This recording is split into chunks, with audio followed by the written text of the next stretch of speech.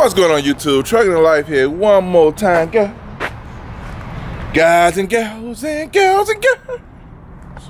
Yeah. Three ways guys lose their shirt in this owner operated business, guys, in trucking. Um, this could go company driver or owner operator, but today I'm gonna touch on owner operator. And one is about making decisions, you know, um, as far as like maintenance.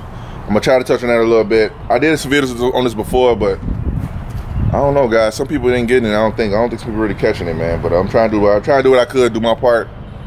And uh, but anyway, we'll get to it, guys. But anyway, before I get to that, this is one thing I'm talking about by making decisions. I have a wheel seal leak, and I'm gonna show you guys what I'm talking about. So in case you guys have a wheel seal leak, you better be able to catch stuff like this. And again, I'm gonna go into the decision from that, guys. Good segue. Why not, right? All right, back of the truck, right here. Fifth wheel, left, right, left, right, anyway. Got a wheel seal right here. Look, see the grease? See the grease on the see the grease on the drum? But anyway, that's the drum right there with the brake. Look at the drum right here. You see like a little wet right there around the drum? Now when these wheel seals blow, sometimes it'll be all on the tire, but sometimes it leak like this. And be, sometimes it leaks so low that you don't know it's leaking, and all your oil is coming out of this diff is going to is coming out. So this eventually dry up you can blow it right in because you run out of oil because it's all getting leaked out in the drum. You can't even see it. But sometimes they'll blow real bad where it be on the on the on the on the tire. You can do like this. You can feel it with your tire. You can feel the tire with your hand. You feel it on there. So that's one. That's one thing, guys. That I'm just saying. Like when you look over your truck, you try to catch stuff like this. I caught that. Mechanic didn't catch that. DOT didn't catch that. I caught it.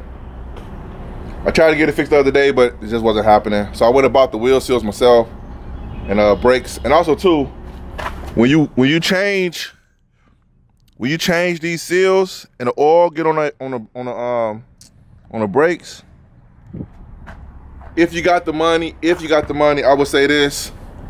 Change the brakes too. What happened was what, what will happen is because the oil is inside the brakes you can wash the brakes off put them back on. They may last a couple months but eventually they'll start cracking. I mean one time i had a uh i had just replaced all the brakes on here, and I blew a wheel seal. I think it was, my it was this one. I blew this wheel seal. Brand new brakes, guys. I mean, the brakes wasn't on there, I think, two days. Wheel seal blew. And they got the they got the brakes all wet. Now, my money was like looking too crazy. I'm, I'm getting my money from them brakes, baby. I'm gonna rinse them off with water and whatever solvents they got to get to get it going. And then I wait till they crack because it's going to crack eventually. I had three of them crack. This I learned the hard way. So I was like, you know what? I had to make a decision. I'm gonna, I'll park it, and I had some business to take care of anyway. And I said I'd come back and I'd do it do it another day, which is today. So I gotta get it done today. So now I'm waiting on a mobile mechanic guy to come. So it cost me more, but at least I gotta move my truck today because I'm not working today. So I'm saving on fuel, but I'm spending more. I'm spending a convenient fee. Sometimes you gotta make decisions like that, or you might have to go to a shop and you have to wait to get in the shop. Now you sit in the shop all day as if you're working all day. And you ain't there, or leave your truck there, find a way back to your car so many decisions you got to make, guys. But that's one. Being, I think a lot of guys lose their shirt in this business because they don't know how to make decisions. Like decisions like that, they get they get analysis paralysis. Do I get my own part? Do I go to the shop, let them get their own part? They get the part from me? Do I um, call the shop the next day or the, the same day to kind of ask them what's going on my truck, or do I just kind of leave it up to them to call me? Do I try to figure out the problem myself on my truck, try to at least look and kind of get a good idea of what's going on in my truck, if possible? Or do I just take it to the shop and let them figure it out? These are decisions that will cost you a lot of money because here's a, here's a couple things I'm I'm gonna go to my next point. If you take it to a shop and try to let them figure it out, now it's guessing game. Now sometimes, if they know exactly what to fix, sometimes they'll be able to they be more apt to fix your truck a lot quicker because they know what the problem is. You say, okay, the customer, they put on an invoice, customer requested, repair this. You know what I'm saying? Because they like, okay, well, we repaired it. So if you say it ain't fixed, it's on you. But you told us to fix this. So that's that's one tricky side about going in and telling them what to fix versus letting them find it themselves. Or what, what I usually do is I go in and say, hey, I think it's this. I hear noise coming from this area. Fuel. Uh, when they got truckers, they got trucks and fuel. Now, don't get me wrong. I ain't gonna penny pinch all the time, but you definitely gotta know how to play the fuel game. If you don't know how to play the fuel game, one of your most biggest expenses in a truck is fuel or diesel, you know.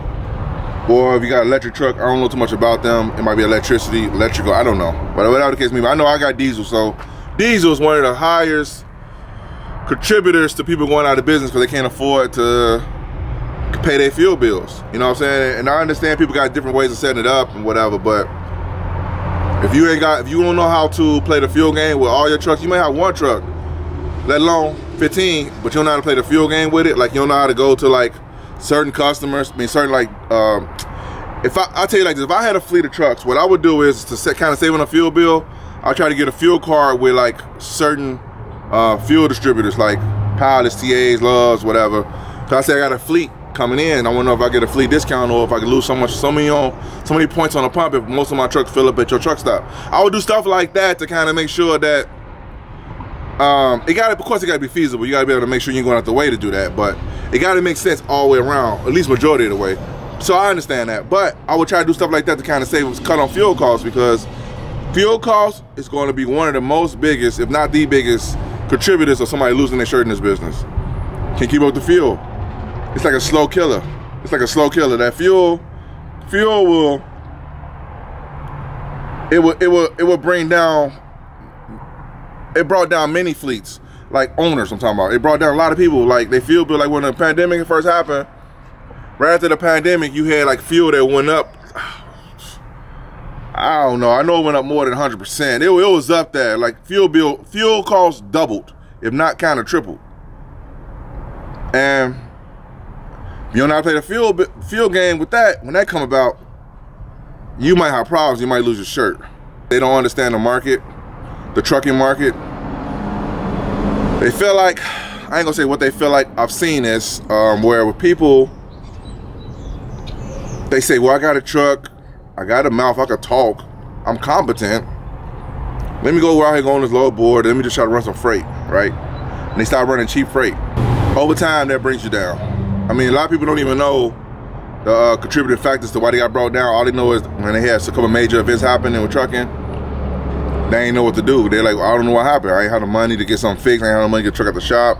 I didn't have the money to do something. You know what I'm saying? and because they don't know understand the market because the market seems good so you figure i'm gonna go buy some more equipment i'm gonna just buy a bunch of stuff while everything's good and you think the market always gonna stay the same to be to you think the market gonna sustain itself enough for your growth so people grow according to the market you shouldn't do that grow according to your growth and then you adjust to the market that's why sometimes people that like have like uh one truck and they, they, they see the money's real real good they try to buy two, three, four, five, six, seven more trucks. And then when the market kind of downturn a little bit, like it's doing right now, like it's really doing right now, you don't have enough work to feed the drivers you got, so now drivers gonna start leaving because at the end of the day, they want to eat too. So if you can't provide the work for them, they're gonna find somewhere else where they can provide the work for them and be able to make consistent, constant money. The drivers are not loyal, and I don't get. I understand that you want people to be loyal to your company, but at the end of the day, they out there to make their money to be able to take care of, provide for their family. And if the boss or the, or the owner make the bad decision by not understanding the market or bringing somebody in who do understand the market, then you have the the, the so many uh, catastrophes that happens from that. Like you have the the drivers leaving, you have the the truck sitting, which you still got to pay insurance and all that stuff. To keep the costs of carrying every month on them things, but you don't have the wheels turning to offset the cost that in turn will bring you down unless you just start selling off equipment but then you might think like, well, if I sell off equipment, then what will the market pick up? You don't understand the market. That's all. That's all that tells me. You don't understand the market. You don't ever stretch yourself to the point where you're so thin where you predicate it off of today's money. You gotta do projections or today's um, customer base or today's market. You have to do projections. Like I say, nobody don't understand. People don't study the market. And I, this is for people who want to grow fleets, but also too, this happens for small guys too. They say I got some money, I got a truck. I'm, i used to be a salesman, now I want to drive trucks because I heard there's money in that. And you get into it, you go buy your truck. You need to go to the company drive right. You just go buy your truck right out, and then you hop into the game, not knowing, not knowing, the, not knowing the game or the market. And after a while, you realize it's a marathon, not a sprint. You was running a sprint, and sometimes it, hop, it happens. You lose. You know. I tell anybody, it's by the grace of God I lasted this long in this business. But I learned a lot over the years. I learned a lot, but these are the three things, guys, that I believe that um make people may cause people lose their shirt in this business, you know? Because it's, it's one of them things like I don't know. I know I know this. And there's nothing wrong with aspiring to be better, to do better, and want to just like progress your life in certain ways. But when you when you deal with a business of trucking that's so volatile, it's, it's risky business. It may sound kind of cool. Oh, you can get a truck fixed? Why you in this parking spot? Oh, that sounds pretty cool. No, I'm spending money for this. I'm paying extra now because I got because I got somebody coming to me. You know what I'm saying? So the money you think you're making, it could go really quick in this business because it's so volatile and the market is so jacked up right now. In case you guys didn't know, it's so jacked up right now. A lot of guys selling off equipment and losing equipment and going out of business. It's a bigger player hand, guys, out here. And I ain't gonna say it on here because I know people watching. But anyway, I digress. So, all right, YouTube, hope this video is helpful. Give you a little understanding what's going on here. And I'll see you guys in the video. Peace.